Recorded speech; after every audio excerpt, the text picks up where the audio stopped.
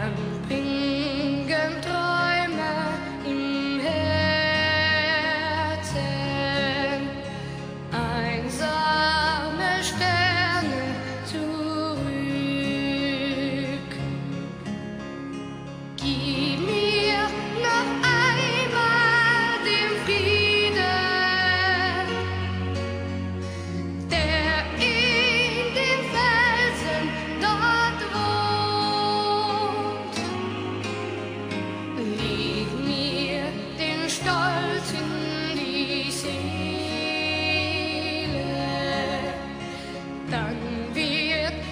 survive.